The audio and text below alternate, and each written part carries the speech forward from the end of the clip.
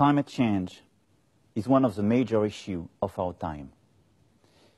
It is already changing our daily lives, but it is global. Everyone is impacted. And if we do nothing, our children will know a world of migrations, of wars, of shortage. A dangerous world. It is not the future we want for ourselves. It is not the future we want for our children. It is not the future we want for our world.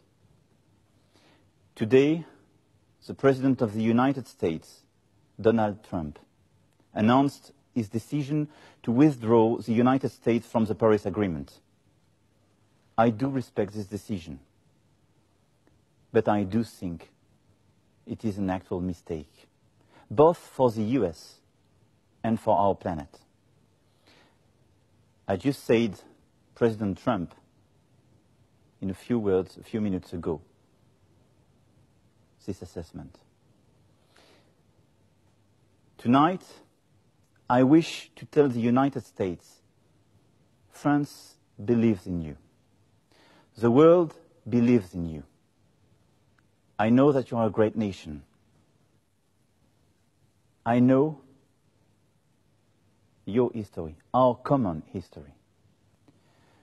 To all scientists, engineers, entrepreneurs, responsible citizens who were disappointed by the decision of the President of the United States, I want to say that they will find in France a second homeland.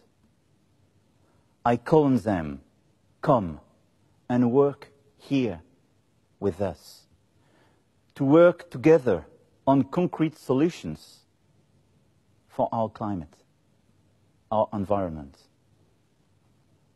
I can assure you, France will not give up the fight.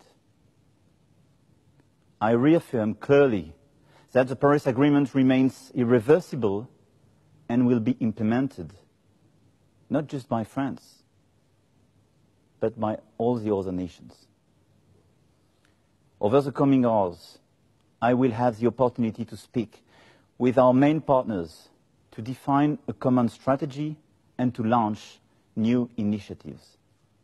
I already know that I can count on them. I call on you to remain confident. We will succeed because we are fully committed. Because wherever we live, whoever we are, we all share the same responsibility. Make our planet great again. Thank you.